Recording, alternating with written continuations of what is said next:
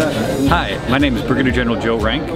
I graduated from Heritage High School in 1983. I also graduated from the Marine Corps Junior ROTC program that same year. Uh, currently, I'm in the Pentagon working for the Office of the Secretary of Defense on Middle East Policy. I attended Heritage High School from 1979 to 1983.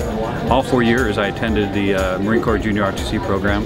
For me it was a great program as was the school. It helped prepare me for university and also for life. The Marine Corps program in particular I found particularly um, uh, rewarding and uh, really prepared me for leadership in the Army and for the challenges further on in life. And it was a great education. I did very well in college because of the great quality of the heritage ed education.